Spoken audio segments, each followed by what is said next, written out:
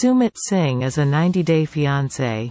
The other way star who has developed a fear of getting married, but fans think that's happening because he wants to keep Jenny Slatten waiting.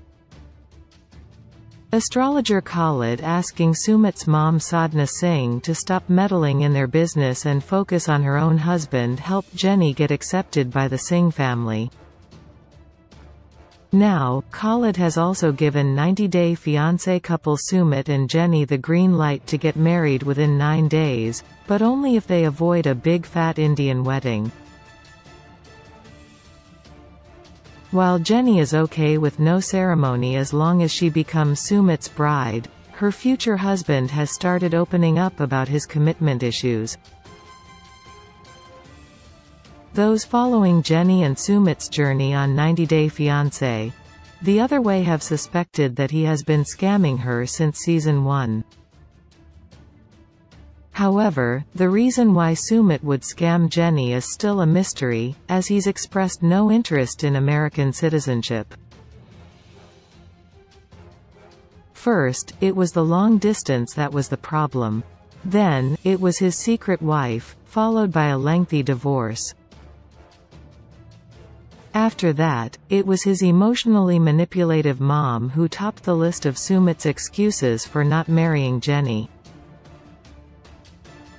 Now that the coast is clear, and Jenny can finally stay in India without going home every six months, Sumit has confirmed 90 Day Fiancé franchise fans' worst fears by concocting a brand new sob story. It's possible that Jenny might not fall for any of more of Sumit's cock and bull stories, because even she has started to question him. Fans noticed that Sumit looked squeamish when astrologer Khalid was schooling Sadhna, and when Jenny told him his parents had agreed to their relationship. As hinted at by Sumit during his interview with Us Weekly, he will be using his fear of another divorce as an excuse this time. When the couple played Holi on the show, Jenny asked Sumit how soon they could get married. His honest reply was, I don't know, as Sumit admitted that he didn't imagine his parents would agree so fast. As Jenny warned Sumit that she didn't want any more excuses, he told the cameras that he wouldn't be able to survive another divorce. Quote. Dot. Former call center employee Sumit didn't mince words when he said, I don't want to be a part of any marriage, I'm scared of that, to Jenny. While this may be Sumit's last-ditch effort to eliminate any possibility of nuptials with Jenny, she surprisingly is still in India. She was sitting next to him when he claimed that he's still scared. Sumit is apparently anxious about making another commitment, and he says that the fear is still there in his heart and mind. This is because he did not have a very good experience with marriage in the past.